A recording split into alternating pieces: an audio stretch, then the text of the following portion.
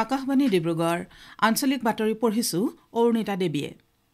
দেশৰ বিভিন্ন প্ৰান্তৰ প্ৰায় ডেৰশতকৈও অধিক প্ৰাক্তন ন্যায়াধীশ আমোলা সেনা বিষয়া আৰু শিক্ষাবিদে নাগৰিকত্ব সংশোধনী আইনৰ বিৰুদ্ধে প্ৰতিবাদ কৰাসকলৰ বিৰুদ্ধে ৰাষ্ট্ৰপতি ৰামনাথ কোবিন্দলৈ পত্ৰ প্ৰেৰণ কৰিছে। তেওঁলোকে ৰাষ্ট্ৰীয় জনসংখ্যা পঞ্জীয়ন আৰু ৰাষ্ট্ৰীয় নাগৰিকপঞ্জীয়ে ৰাষ্ট্ৰৰ ক্ষতিসাধন কৰিব বুলি ভুৱা প্ৰচাৰৰ যোগেদি জনসাধাৰণক বিভ্ৰান্ত কৰিছে বুলি পত্ৰত উল্লেখ কৰে। পত্ৰত এই বিশিষ্ট ব্যক্তিসকলে বৰ্তমান দেশত কাৰ বিৰুদ্ধে চলি থকা প্ৰতিবাদী কাৰ্যসূচীসমূহ ৰাষ্ট্ৰৰ সাৰ্বভৌমত্ব হানি নোহোৱাকৈ প্ৰতিহত কৰিবলৈ অনুৰোধ জনাই এন আৰ পি আৰু এন আৰ চি সম্পৰ্কত জনসাধাৰণক প্ৰৰোচিত কৰা লোকসকলৰ প্ৰতি উচিত ব্যৱস্থা গ্ৰহণ কৰিবলৈ আহ্বান জনাইছে। তেওঁলোকে কৈছে যে সমগ্ৰ দেশতে কা এন আৰ পি আৰু এন আৰ চিক লৈ জনসাধাৰণৰ মাজত ভুল আৰু ভ্ৰান্ত ব্যাখ্যা প্ৰচাৰ কৰি এই আইনৰ বিৰুদ্ধে জনতাক উত্তেজিত কৰি ব্যক্তিগত আৰু ৰাজহুৱা সম্পত্তি ধ্বংস কৰা এক ভয়ানক প্ৰতিবাদী কাৰ্যসূচীৰ সূচনা কৰা হৈছে যিটো কোনো কাৰণতে যুক্তিসংগত নহয়। কেন্দ্ৰীয় চৰকাৰৰ অধীনত দুহেজাৰ চাৰি চনৰ পহিলা জানুৱাৰীৰ দিনা বা তাৰ পাছত চাকৰিত যোগদান কৰা সকলো কৰ্মচাৰীকে ৰাষ্ট্ৰীয় পেঞ্চন ব্যৱস্থা এন পি এছৰ পৰিৱৰ্তে পূৰ্বৰ পেঞ্চন আঁচনিৰ অধীনত সামৰি লোৱা হ'ব।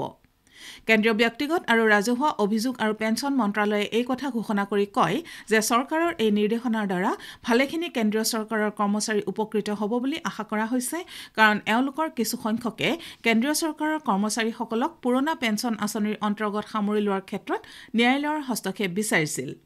মন্ত্ৰালয়ে কৈছে যে কেন্দ্ৰীয় চৰকাৰৰ কৰ্মচাৰীসকলক ৰাষ্ট্ৰীয় পেঞ্চন ব্যৱস্থা এন পি এছৰ স্থানত পেঞ্চন নীতিৰ অধীনৰ সুবিধা লাভৰ বাবে এবাৰেই সুযোগ দিয়া হ'ব। এই ব্যৱস্থা চলিত বৰ্ষৰ একত্ৰিছ মেৰ ভিতৰত আৰম্ভ কৰা হ'ব।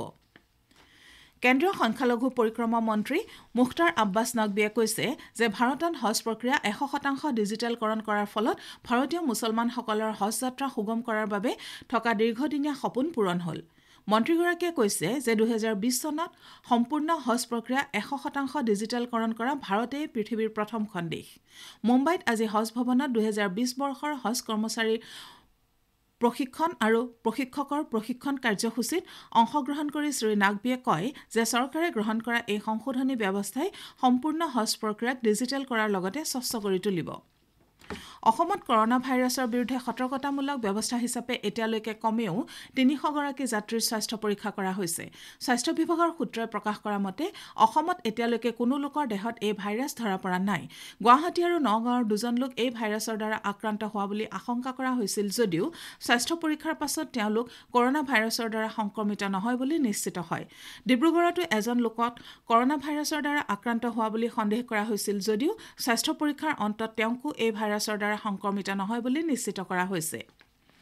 সংহত শিশু উন্নয়ন আঁচনিৰ জৰিয়তে এটি শিশুৰ সৰ্বোৎকৃষ্ট যতন নিশ্চিত কৰাৰ লক্ষ্যৰে কেন্দ্ৰীয় চৰকাৰৰ মহিলা আৰু শিশু কল্যাণ মন্ত্ৰালয়ে হাতত লোৱা পোষণ অভিযানৰ এক অংশ I C D S C A এছৰ অধীনত আজি ডিব্ৰুগড় জিলাৰ লাহোৱাল আৰু নগৰীয়া সংহত শিশু উন্নয়ন প্ৰকল্পৰ তিনিশ বাষষ্ঠিগৰাকী অংগনবাড়ী কৰ্মীৰ মাজত স্মাৰ্টফোন বিতৰণ কৰা হয়।